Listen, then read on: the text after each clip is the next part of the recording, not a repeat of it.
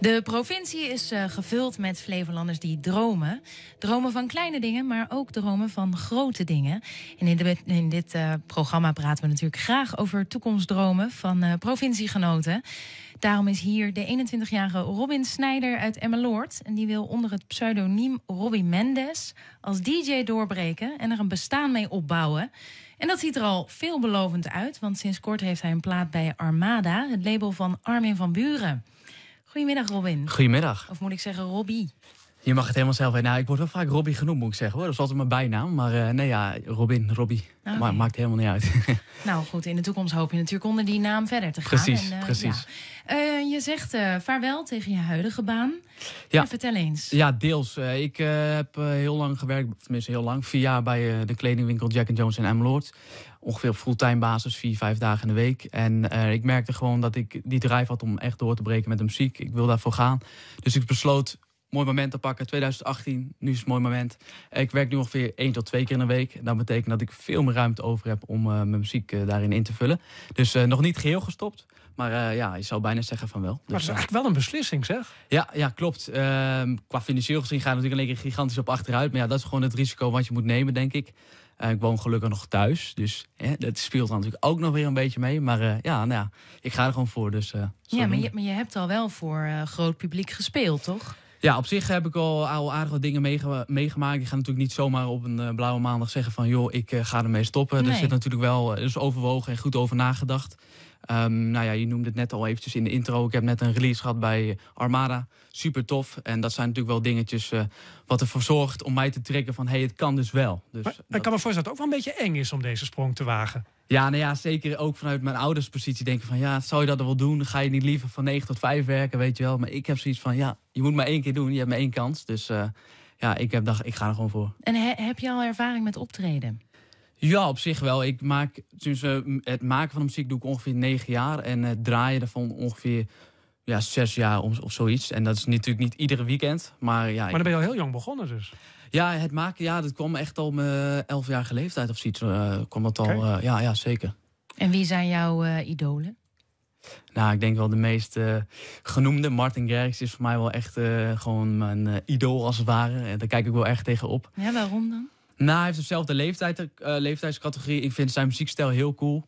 Um, dus ja, dat matcht gewoon op een of andere manier. Voelt dat gewoon goed. Ik ken hem niet, maar ook weer wel of zo, weet je wel. Zo voelt dat dan. Maar um, ook Armin van Buren of Chesto, gewoon die echte gouden mensen. Ik, uh... Maar waarom ben je eigenlijk mee begonnen? Want Martin Garrix was er toen nog niet, nee. denk ik. Nee, ik had eigenlijk heel eerlijk gezegd he geen één voorbeeld van... oh, ik wil daarom beginnen. Ik vond het gewoon heel interessant hoe muziek werd gemaakt. En dan heb ik het puur over het maken van de muziek. En daar ben ik me in gaan verdiepen. En zo rolde ik uiteindelijk in DJ. Dus het kwam eerst met muziek maken en daarna draaien. En is het ook een beetje die hele leefstijl van de DJ's tegenwoordig die je ja, aantrekt? Ja, vroeger wou volgens mij iedereen voetballer worden. Maar nu is het, uh, iedereen wil een DJ worden. Dus ja. dat betekent concurrentie is hoog. Maar um, ja, dat hele wereldje is toch prachtig. Ja, maar wat is daar zo prachtig aan? Nou ja, misschien is het ook een beetje the good life, het, uh, ja. het luxe. En uh, weet je wel, uh, zo kijken veel mensen er tegenaan. Maar van de buitenkant lijkt dat vaak mooier dan ja, het is. Voor mij is dat echt een, niet de trigger om dan uiteindelijk daarom door te breken. Het is echt gewoon mijn passie die dan voor de muziek overheerst als het ware. Dus nee, ja, ik weet niet. Het, het, hele gevoel dat je met, met jouw muziek mensen kan laten dansen, dat is gewoon echt prachtig. ja. En, en heb, je, heb je een plan? Hoe ga je de top bereiken? Heb je een vijfjarenplan? Een vijfjarenplan? Nou ja, ik zei het net al voor de uitzending al eventjes. Wij zijn nu bezig met een uh, ja, soort van documentaire, kan je het wel noemen. Een soort vlogdocumentaire. Wij leggen eigenlijk alle leuke momenten vast, waaronder dit toffe interview. En zo willen we eigenlijk content creëren voor social media, wat super belangrijk is. Uh, want tegenwoordig wil dus iedereen DJ worden. Dus ja, onderscheid je dan maar eens. Dus uh, ja, het, het maken van documentaire, het maken van je eigen muziek, maar dan wel probeer je eigen twist eraan te geven. Dus ja, zo doen eigenlijk. Ja, want je hebt ook al een uh, eigen manager. Ja. Hij is mee, Ramon Dekker. Ja, inderdaad. Yes. Welkom jongen. Ja. Yes. Dankjewel. Dankjewel. Wat, wat is jouw rol? Mijn rol is uh, ja, het uh, begeleiden zeg maar, van, van Robin zelf. Um, in de zin van het zakelijke gedeelte. Ja. Aangezien uh, onze motivatie daarin heel hoog is om naar de top te komen. Ja. ja. Hoe ken jij hem? Um, het is een beetje raar gegaan. Op een gegeven moment heb ik hem een e-mailtje gedaan. Want hij was dus zijn, zijn debuut is eigenlijk een beetje bij Stuk TV. Een van de grootste YouTube-kanalen van Nederland. Dus hij, daar is hij bij ingekomen. Um, nou, ik zag zijn motivatie, die was zo hoog. En ik denk van, nou, ik wil graag hem helpen. in de zin van mijn passie eh, en zijn passie samen te voegen. Je zag dus echt iets in hem. Ja, ja, ik, ja, ja, hij is een magische jongen, zeggen ze altijd. Zo, nou kan je in je zak steken. Ja. En eh, nee, maar dat is toen, eh, ja, toen hebben we even contact en zo zijn we gaan praten. Ja. En eh, toen stenen zag Ja. ik ook. Ja, want ik, ik merkte ook gewoon bij mezelf, dat was gewoon het puntje waarom ik het ideaal eigenlijk uitkwam. Het maken van muziek, hartstikke leuk, maar zakelijk, ik zou niet weten hoe het in elkaar zit. Het is gewoon niks voor Oh, jij hebt echt Ramon nodig.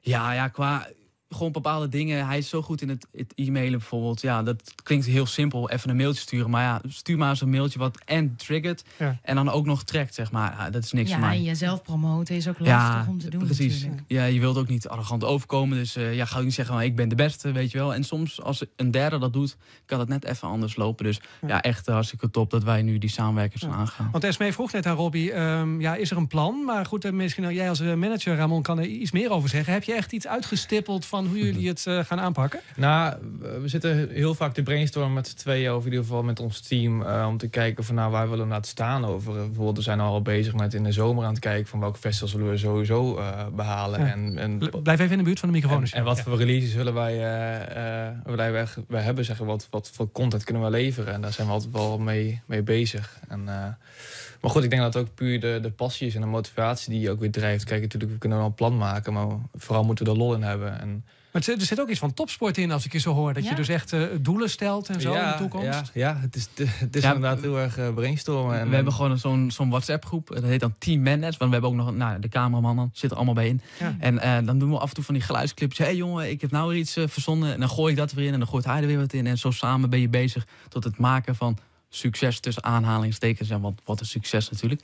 Maar ja, zo ben je gewoon samen bezig. Dus Ja. ja. ja. En nu, want je hebt je baan opgezegd. En moet ik het dan zo zien dat jullie gewoon fulltime met elkaar bezig zijn? Dus eh, Ja, nou ja, Ramon die werkt het gewoon nog wel. Eh, Dus Oké. eh, ja, het is nog niet dat iedereen zijn baan heeft opgezegd. Eh, het moet uiteindelijk van mij komen natuurlijk. En dan Ja. heb ik het over de muziek.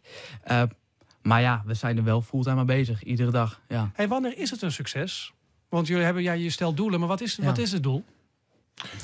Nou ja, ik denk als, wat voor mij in ieder geval, vanuit mijn perspectief, als ik met mijn eigen muziek in de toekomst, bijvoorbeeld vijf jaar, een concert kan geven met mijn muziek, dat mensen speciaal naar mij komen in plaats van naar een algemeen feest waar meerdere mensen naartoe komen, meerdere DJ's, DJ's naartoe komen, ja, dan is het voor mij geslaagd. Maar goed, een concert kan voor tien man zijn, maar ik neem aan dat je wel iets groters in Ja, gedachten nee, ja, hebt. dan willen we wel natuurlijk, eh noem maar Ziggo Dome of zo. Dat is, Oh ja, dat is ja. toch wel gaaf, weet je? Ja. Ziggo Dome, dat is toch wel, eh, hoe- ja. hoeveel mensen Nou hebben we het er ergens Dome? Eh, Zo, dat zou ik nou ja, Nou, 20.000? duizenden, Ja. duizenden, ja. hmm. nou, het moet haalbaar zijn, toch? Wie Kijk, weet. De Ja, manager heeft er gevaarlijk, het zijn gevaarlijke uitspraken, maar het zijn wel dingen waar je van droomt, weet je? Dus dat mag.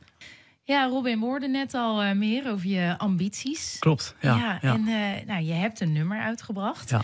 Can't Move Like Us. Yes, klopt. Ja. Ja, vertel eens wat over dat nummer. het is op zich wel leuk. Het is eh, een samenwerking met mijn broer, Essentials. Het is Robbie Mendes Essentials Can Move Like Us. En ehm, de stijl van deze plaat is echt clubgerelateerd. En het is niet helemaal de stijl van Robbie Mendes. Dus het is een beetje een, eh, misschien een apart voorbeeld. Maar we wouden, ik wou gewoon wat samen met mijn broer doen. Want dit is helemaal zijn sound, zeg maar. Dus ik begon een opzet te creëren wat helemaal in zijn genre valt. Hij vond het geweldig en zo gingen we dit samen afmaken. En dit hadden we in twee weken gedaan. Een week later hadden we de release. Het ging zo snel. Eh, maar ja, het is wel heel tof. Het heeft wel dansbare moves. Dus eh, Zullen we even een stukje gaan luisteren? ja, laten we doen. Leuk.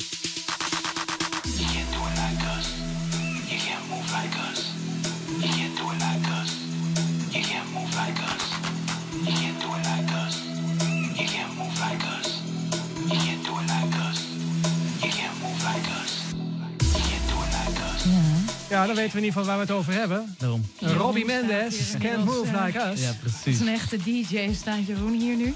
Nou, maar wij- wij- wij- je zei het is niet helemaal Ja. typisch voor mijn stijl. Nee, eh, dit, is, eh, dit heeft vooral meer baseline, zeg maar, deze plaat. En waar ik mij persoonlijk op focus zijn meer de melodieën. Dus ik probeer echt eh catchy melodieën te maken die iedereen kan zich kan herinneren, zeg maar. Dus eh, mijn, mijn main focus op het maken van muziek eh, zit hem in melodieën.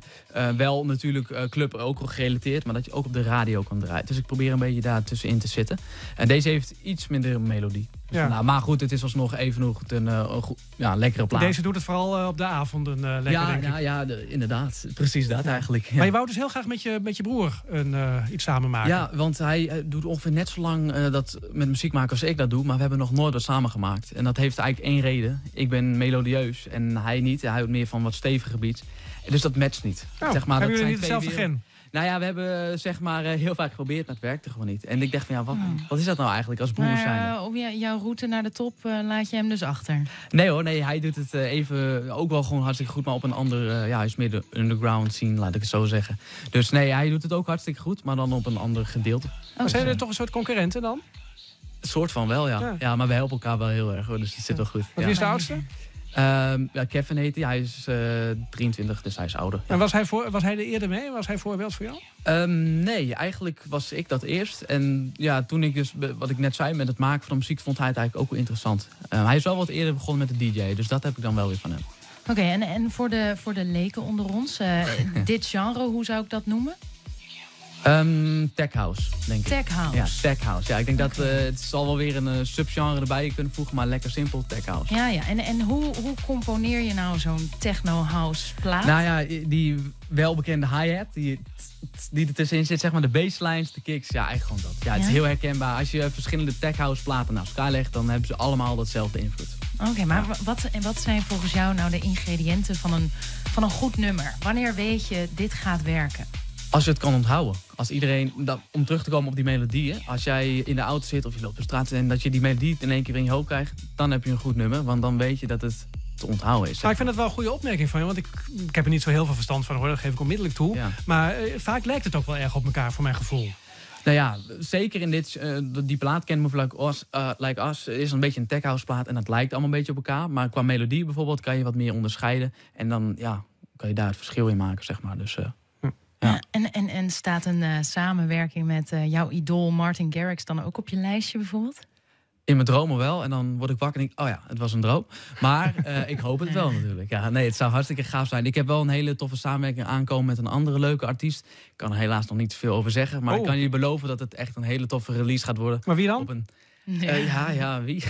nou ja, er wordt, eh, kan ik helaas nog niet zeggen. Eh, Waarom maar niet? Waarom niet? Puur gewoon voor de zekerheid. Ja, ja, eigenlijk dat. Ja, Hm. contracten. Ik, ja. Mag ik een gok eh, wagen? Armin van Buren, je, je platenbaas. Ja, nee, dat dan weer net niet. Iets lager wel. Hij doet het ook wel hartstikke goed. Hij is een beetje dezelfde leeftijd als ik. Eh, maar het wordt wel op een heel groot label. Het, eh, het grootste dance label en meer kan ik er niet over zeggen. Hey, vertel eens eventjes, als je, je, je werkt dus af en toe dus nog in de kledingzaak, hè? Ja, ja. Maar eh, een groot deel van je tijd heb je dus helemaal ingeruimd om je aan het eh, DJ-vak eh, te wijden. Maar wat, Saai, doe- hoor. wat, wat doe je nou? ja, wat doe je dan? Eh, wat ik gewoon thuis doe, zeg Ja. maar. Ja, letterlijk. Ik ben gewoon een computernut. Ik zit alleen maar achter de computer het bedenken van... Gewoon de hele dag. Ja, letterlijk staat- wel. je staat Ja, morgens op? Ik heb vierkante ogen, joh. Dat is echt... eh, En, nee, je, en eh, je woont nog bij je ouders, dus dat is van je bed naar je draaitafel. Ja, ja, ja. Ik, ja, ik heb twee kamers, dat is een beetje luxe. Ik heb één ja, muziekkamer en één hele compacte, er past net een bed in. Dus daar slaap ik dan, maar ik slaap, ik ga uit bed, was mijn gezicht en ga naar muziek. En het, eh, het ontstaat gewoon eigenlijk, je begint met helemaal nul. En dan, eh, ja, de melodie wat in me opkomt, dat schrijf ik dan. En zo leg je allemaal elementen op elkaar. En, en wat, wat vinden jouw ouders daar dan van? Hoe, hoe, ja, hoe reageren zij op jouw plannen? Die zeggen altijd, zet die muziek eens zachter. dus dat is eigenlijk wat ze zeggen. Nee, ze vinden het hartstikke leuk eh, wat ik doe. Eh, ze, ze sporten me wel, waar het kan. Eh, ze hopen wel dat het eh, binnen nu een hele korte tijd goed komt. Want ja, je wordt langzaam steeds iets ouder. En ja, ouders zijn wat bezorgder over het algemeen. Dus eh, Ze hopen dat je snel eh, wat knaken binnenharkt, zodat je Ja. je eigen huis kan kopen. ja, daar komt het om, ja, op neer. Eigenlijk. uiteindelijk, als je succesvol bent, kan je hier eh, aardige boterham mee verdienen, toch? Ja, dat zeggen ze wel. Dus eh, Ja. ik hoop dat het ook zo is. Dus nee, ja, ik eh, denk dat dat wel goed komt. We hebben de juiste passie en dan komt dat soort dingen wel later. Voor mij is dat absoluut geen drive om... Ja, het klinkt cliché, maar het is echt waar. Ik vind het gewoon hartstikke leuk. Dus, eh, Je, je, je vertelde ze pas al even over de documentaire hè, waar Ja. jullie aan, aan werken. Er wordt ook volop om ons heen volop Ja. gefilmd op Ja. dit moment. Wat is daar nou precies de bedoeling van? Ehm, nou, je, je probeert je te onderscheiden door eh, content te creëren op social media. Want tegenwoordig is dat gewoon heel belangrijk. Je kan niet alleen maar leuke muziek maken. Je moet eigenlijk leuk uitzien, leuke muziek hebben, goede content, maar het complete plaatje. En dat maakt het wel lastig, Ja. maar ook wel weer heel leuk. Ehm, we willen een soort van documentaire slash vlog maken. Kijk, ik heb nog niet heel veel bereikt. Dus om dan een documentaire te maken is een beetje gek. Dus daarom is het een knipoog naar een soort van vlog. Maar ja, ja gewoon om jezelf te onderscheiden. Ja, was dat ook een idee van jou, eh, Ramon de Dekker, de manager, die ook bij ons is? Nou ja, ik denk dat dat, dat samen daar een beetje eh, tot de conclusie zijn gekomen van nou, dit willen wij eh, gaan neerzetten. Wat Robin ook al zegt, voor, voor de content, zeg maar. Ehm, en uiteindelijk kunnen we ook kijken naar sponsors. Dat is wat Ja. weer interessant voor, voor andere mensen. Kijk, je zet toch een stukje branding neer. Kijk, je zet dan Robin... Een stukje branding. Ja, het is, het is toch je Robin Mendes wil je toch op de kaart zetten. En eh, ja, dan komt eh, het zakelijke gedeelte ook weer van pas. Ja. En, eh, En nou, hoe lang gaan jullie door met filmen? Of wanneer is hij klaar? Of wel, gaat het gewoon eh, doorlopend uh, wordt hij Nou, uitgebreid? het, het idee is eigenlijk om gewoon een. ehm, kijk, ik ben nog niet doorgebroken. En heel veel mensen beginnen met filmen als ze doorgebroken zijn. Maar ik wil juist dat stapje voor zijn. Dat als de eerste eh, kijker nu denkt, nou, hij heeft een boeking hier. eh, wat stelt dat nou aan? Ja. Weet je wel? Maar over een jaar bijvoorbeeld zie je een heel cyclus, zie je dat groeien. En denk ik van, oh, oké, nu Ja. staat hij in één keer hier. Nou, dat moment, dat willen we zeg maar vastleggen. En Ja. ja, hoe dat gaat lopen, dat weet ik niet. Om, Nee, maar, Maar nou is dat er natuurlijk ook een kansje spannend. dat je over twee jaar weer met hangende pootjes bij de kledingzaak in Ja. eh, de Lange Ja, in ja, Lemmerhoort ja, staat. Dat, hè? dat zou wel janken zijn. Ja. Maar goed, dat, eh, ja, dat merken we dan wel weer. ja, nee, ja, het kan. Het kan. Ik weet niet waar het eindigt. Maar dat maakt het ook wel weer leuk. Want het houdt je wel bezig. ja, maar, maar schets eens een ideaal beeld. Waar ben jij over tien jaar? Over tien jaar, eh, dan heb ik een eh, huis op eh, Ibiza. En dan heb ik heel veel... vra- Nee, hoor. Nee, ik, Heb je je manager ontslagen tegen die tijd? ja, Ja. precies. Nee, ik ben nog altijd bezig met de muziek. Ik, wat ik ook bijvoorbeeld doe, ik geef lessen. Dus ik zie mezelf wel in de toekomst ook muziekles geven, wat produceren. Want ja, op een gegeven moment moet je het vak ook neerleggen. Maar Ik weet niet hoe dat over tien, gaat, tien jaar gaat. Maar ja, ik, ik ben altijd bezig met muziek. Waarom, Dat- waarom moet je het vak op een gegeven moment neerleggen? Nou, stel... Hè, je, Oh, je bent nu al bezig met je afscheid. Ja, ja, ja, stoppen op je hoogtepunt. Omroep Flevoland, dat is nog... nee, hoor. Hey, hey. nee, maar gewoon, ik weet niet wat tien jaar... vind ik zo'n lastige vraag. Dat, eh, nee, ja, ik hoop gewoon succesvol te zijn. Laat ik dat eh voorop stellen. Ja. Wat is het eerstvolgende belangrijke moment voor jullie? Ehm, even denken, wat hebben wij... eh, Maar ik denk toch wel die release die eraan komt. Ja. Dat wij daar heel erg op Ja. focussen nu. Ja. Ehm, daaromheen natuurlijk, zodra we die release hebben, dan is het er ook van, nou, dan moet je die aandacht vastpakken. En daar moet je juist weer mee gaan doorgroeien. En daar zijn we achter schermen heel erg mee bezig. En eh, Ja, we willen eigenlijk op het moment dat die release komt, willen wij één aflevering plaatsen. Wij, wij maken allemaal al beelden, dus we hebben al afleveringen klaar. En dan zit je midden in dat hele ja, supportproces. Knal hem dan online en dan heb je de beste aandacht. Dus daar zit onze focus op dit moment op. Goed. Nou, we houden je in de gaten. Ja. Robbie Mendes Robbie uit Mendes. Emmeloord. Ja, team Robbie Mendes. Dank. Hartstikke leuk dat je hier eh, aanwezig op bent. 89.8